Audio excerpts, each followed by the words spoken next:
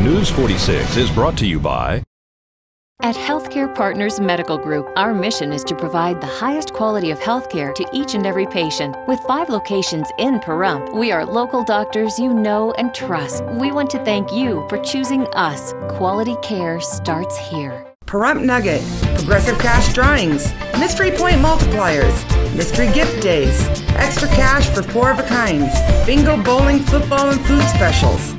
Looking for constant action? Look no further. Pahrump Nugget Hotel and Casino.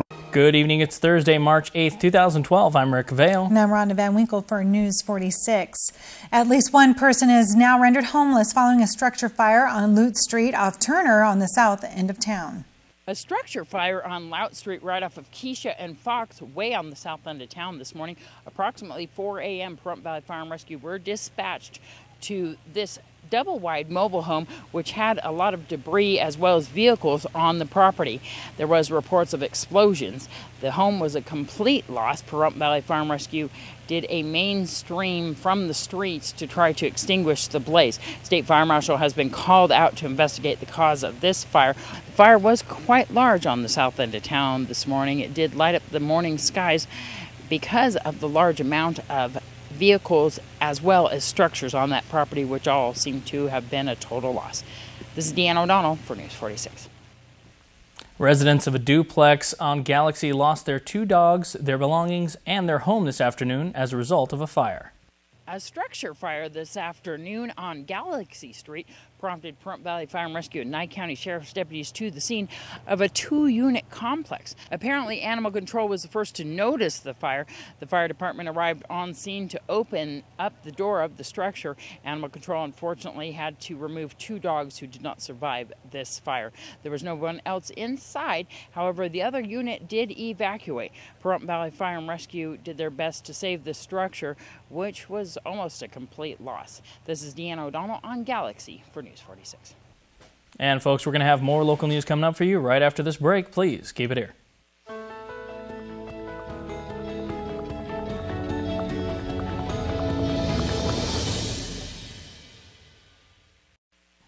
Welcome back to News 46. Following up after the two structure fires from today is a reminder. As you turn your clocks forward this weekend, please also take a few minutes to change the batteries in the smoke detectors in your home. That's right, smoke detectors should be tested monthly and have their batteries changed as often as twice a year. Changing the batteries at the end and beginning of daylight savings time gives residents an easy remember date to start or continue this life-saving habit. Smoke detectors have proven to have been proven to reduce fire fatalities by 50%. Residents are also reminded to identify and practice a home escape route with your family at least twice a year.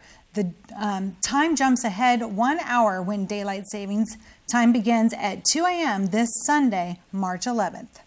And the Nevada Department of Public Safety Highway Patrol Division will be hosting a speed DUI enforcement event today, March 8th, starting at 2 p.m. and ending at 12 a.m.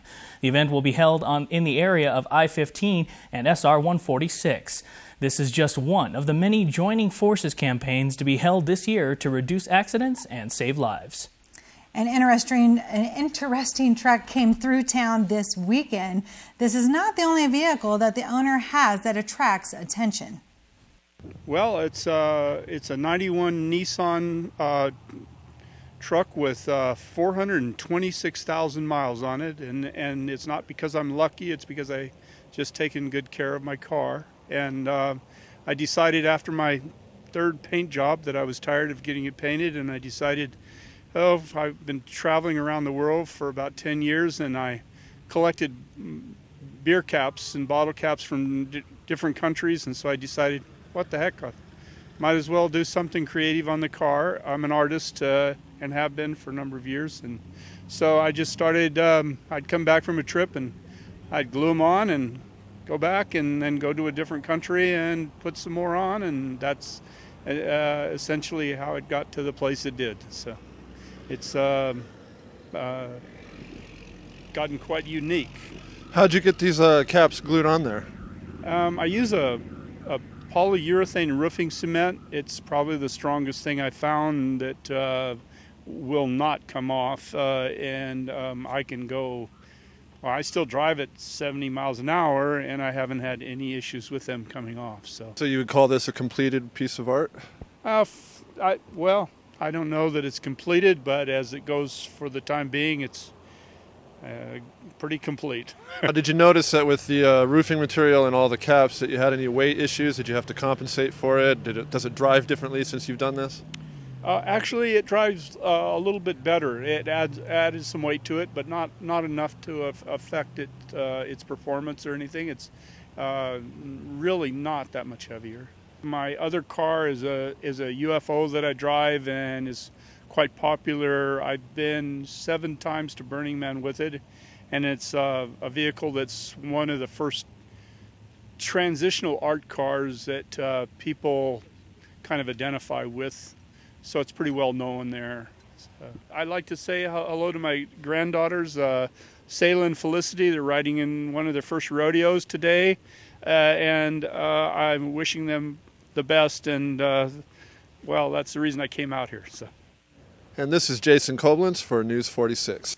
Well, that was fun. A little different. Yeah. You're an artist. I am, and that's that's very difficult actually. You know, pe- people just you, you look past the fact of how he probably obtained all those bottle caps, and you're looking at a very interesting and intricate piece of work. I mean, it's not like he just stuck bottle caps to the truck. He's got a very neat design on there. So. Well, hey, it works. and, and the UFO, too. We're near Area 51, I think. Absolutely. Well, should you uh, want to see more, Skip also has a website that you can visit at skipwagner.com. and as we head into our break this evening, here's Mr. Moviefone with What's Up at the Movies. I'm Mr. Moviefone. An epic adventure hits the screen, and Eddie Murphy's career once again hits the skids. Stay tuned for my weekend movie preview next. News 46 is brought to you by Affiliated Chiropractic and Affiliated Physical Therapy. Come in for your free consultation. Call 775 727 8900. Our goal is to create the individual treatment plan that will restore your health and end pain. Weekend, everybody. Well, this week at the movies, the silence is terrifying. Eddie Murphy is just blowing it. And get ready for an epic battle on Mars in John Carter. Our world is dying. Fate has brought you here, John Carter. From the classic novel by Edgar Rice Burroughs, John Carter is a prisoner wary of war, but forced to fight in a battle between the planet's inhabitants. Doesn't take long for him to realize that the fate of the people is in his hands. The real deal? Well, stuffed with action, effects, and exposition, John Carter is a messy, incomprehensible misadventure for the sci fi geeks only. I'm out. The screams are deafening in Silent House. I just thought I heard something upstairs. Elizabeth Olsen is a young woman who finds herself trapped in her family's lake house. As strange events become increasingly terrifying, she realizes she must find an escape or die trying. The real deal? Elizabeth Olsen certainly proves she can look scared for a solid hour and a half. It's a gimmicky, spooky house story, but you can't help but hold your breath because Silent House is silent, but deadly. I'm in. Eddie Murphy's lips are sealed in a thousand words. What happens when a tree loses all its leaves? I could die! Murphy's character is a habitual liar, but when he lies to a spiritual guru, he's put under a spell that gives him just 1,000 words before he dies. The real deal, with no screening for critics, turns out Eddie Murphy's new movie, A Thousand Words, is probably about 999 too many. Dang, you blew it, Eddie. I'm out. A group of friends are on the baby track, and friends with kids. We really want to have a kid, so share all the responsibility and just skip over the whole marriage thing. Can't really tell if you're kidding right now. The comedy follows close knit friends who are starting families. But when two single holdouts see how kids change everything, they try a different approach, having a baby together, but still dating other people. The real deal in a world where romantic comedies are more miss than hit, even Megan Fox can't ruin the charming, likable Friends with Kids. I'm in!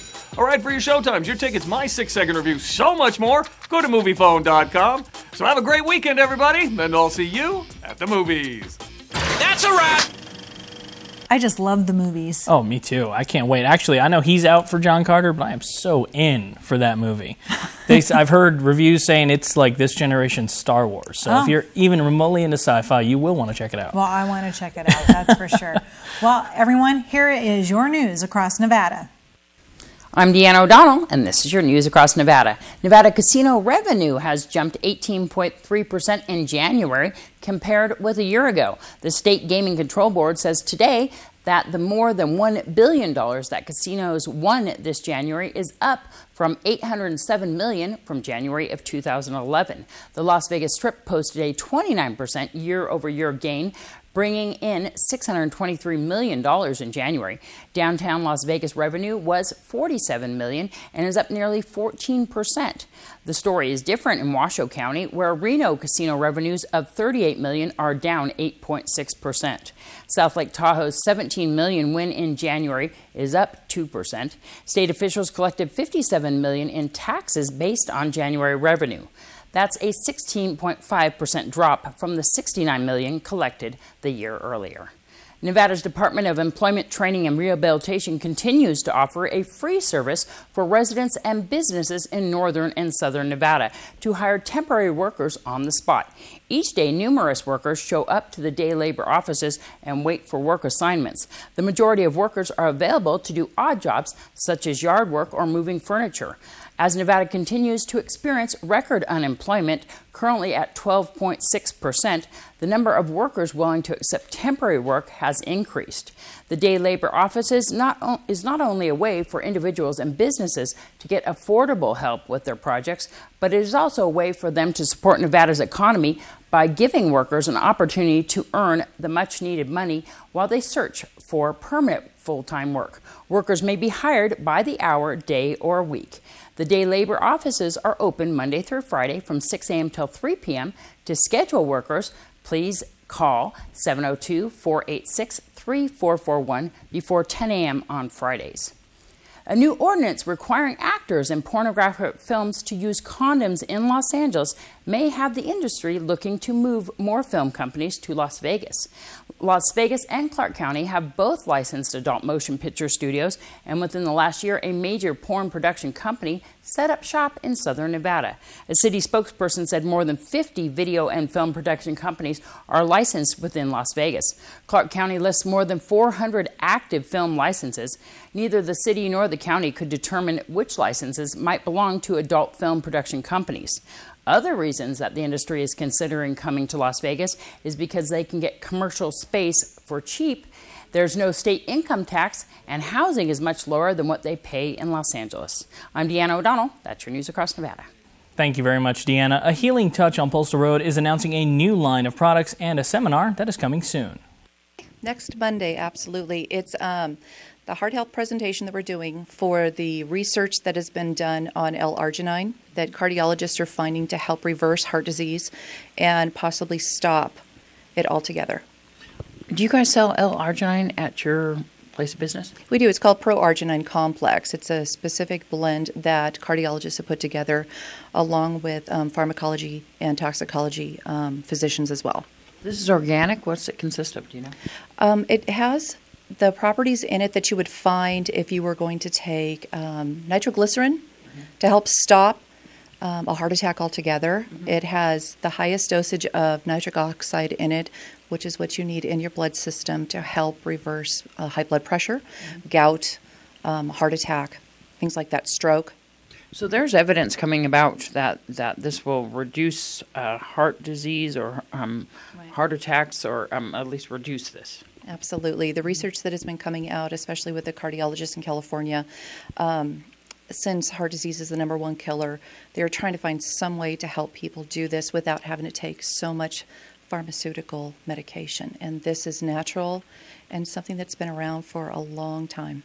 You guys uh, are coming out with a whole line of organic products. Yes, we are. We've listened to the community that's come in, especially with their frustration of having to go to Vegas for a lot of their, especially gluten free. Mm-hmm. Um, we're bringing in the raw organic honeys, mm-hmm. the first press cold um, virgin coconut oils, the Bragg's amino acid line, the uh, Bragg's apple cider. We're going to be bringing in a lot of the supplements like the raspberry ketones, mm-hmm. uh, the white kidney bean extract that's really good to help with. Um, removing some of the cholesterol from the body. It is difficult to get glucose free products. The, the gluten free is it's hard to find here. Mm-hmm. It's easy to find in Vegas. We want to make it more readily available for the community here, and they deserve it. There's a lot of people with celiac disease. They've got permeable bowel. There's aversion to food.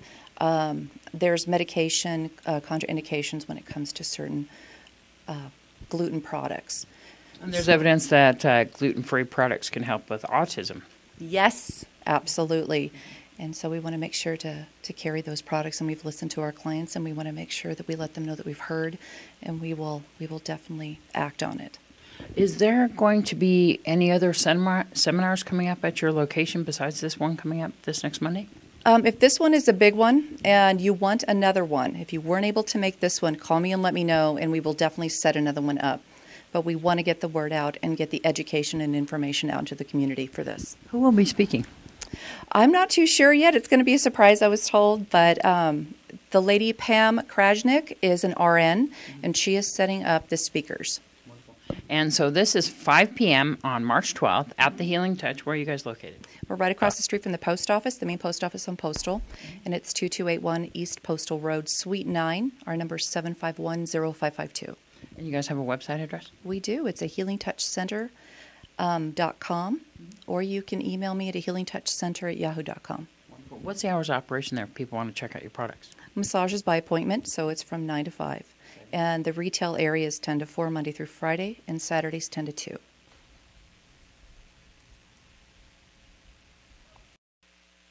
Welcome back to News 46. Spaghetti fundraisers will be held coming soon at the Moose Lodge. Members of the Moose Lodge and the Moose Lodge itself always donate time and also as well meals to help those in need. We're going to speak to Dan Malwitz. Yes, on March 11th, we're having a special Olympic uh, spaghetti dinner. It's a donation, and all the proceeds will go to the Special Olympic kids. What time is that? It starts at 3 p.m. And anybody can come to this? Anybody, it's open to the public. And uh, the Moose is donating the food and then all the proceeds. Um, how much is the dinner? Uh, it's a donation, whatever you want to give, whatever you can afford. We just like to have everybody show up and sponsor the uh, Special Olympics. And any other events coming up for the Moose Yes, April 22nd, we're having a Nathan Adelson uh, fundraiser, and that's also starts at 3 o'clock, and that's also a donation dinner. And what type of meal is that? It, they're all spaghetti dinners.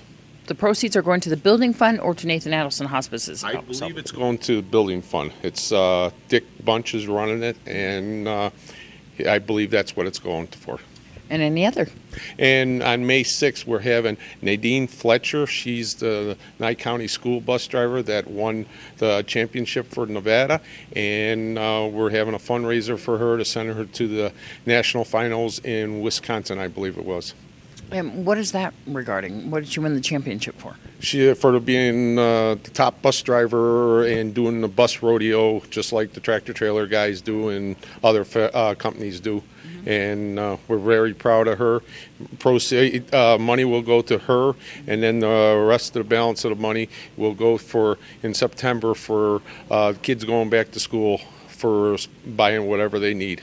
Wonderful. What time is that? That's also at 3 p.m. And where are we located here at the Moose Lodge? 1000, uh, 1100 uh, East Street. And for more information, is there a number of people can call? Um, 727 6465. if people can't make it, till, can they still donate to these particular events? Yep, they can donate, uh, drop it off at the Moose Lodge and uh, say what you want it for Is a Special Olympics, Nathan Adelson, or uh, for the school. Four, three, two, one. And folks, we've got Zach now with a look at your weather.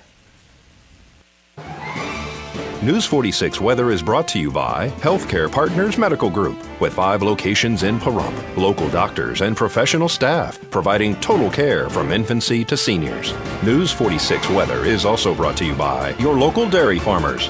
Dairy products are very important in maintaining a healthy body. For more information, you can visit their website at nevadadairycouncil.org.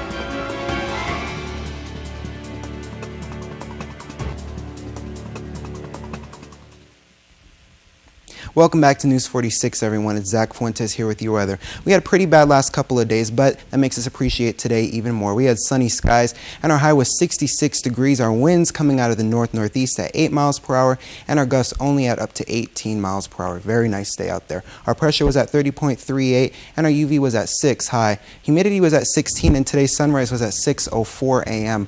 Our record was 87 degrees set back in 1989. And tonight looks like it's going to be a nice night as well. We're going to have clear skies and a low of 37 degrees, winds coming out of the northeast at 5, and our gusts only at 8 miles per hour. Our humidity to be at 29% and our sunset at 5:46 p.m. Tonight's record was 26 degrees back in 1942. Tomorrow, once again, looks like we're going to have a good day. Sunny skies, and our high is going to go into the 70s at 72. We're even getting into the 40s for our overnight lows at 40 degrees. And our winds are going to come out of the east southeast at 5 miles per hour, with our gusts only at 6. Our UV is going to be 6 as well. And our sunrise will be at 6.02 a.m. Our humidity looks like it's going to be at 16%. And taking a look at our seven day forecast, we're going to have some clouds from Sunday to Tuesday, but otherwise we're going to have sunny skies on the edges there, Friday and Saturday and Wednesday and Thursday as well. Our highs for the most part are remaining in the 70s, which is really nice, except for Monday and Tuesday. We're going to be at 69, but that may go into the 70s as well. The overnight lows are 40 across the board, so it looks like the 30s are gone for just a little bit there. Our lowest low is going to be 40 degrees on Friday. And today's worst weather was in Fox Chase, Kentucky, where they had rain and thunderstorms.